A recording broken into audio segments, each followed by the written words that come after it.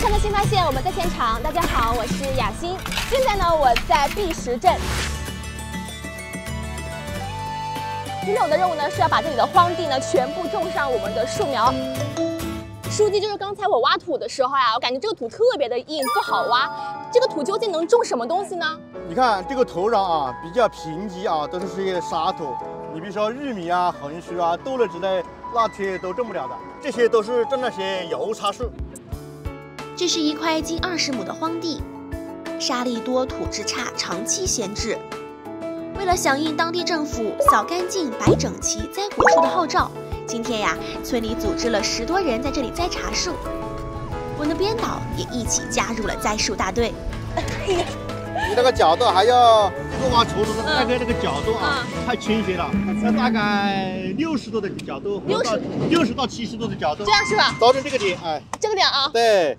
哎呀，这样可以吗？嗯，对啊，有有进步。这个是有机肥，它是利于这个茶树苗的生长的。那这个是我们啊适合于本地生长的油茶树，要把这个营养杯去掉，才利于它的根系的生长。那咱们这个水要浇多少呢？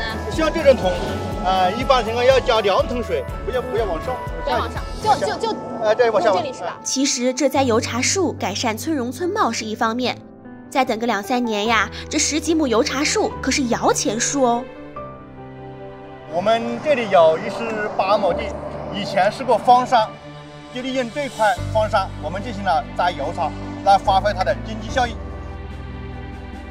大概一个树苗就可以产二十公斤到四十公斤，能够每一年呢产生那个经济效益，大概应该是十来万。哇塞，真的可以说这里是将废地变为宝地了。这也让我想到一句老话，叫做什么？只要思想不滑坡，方法总比困难多。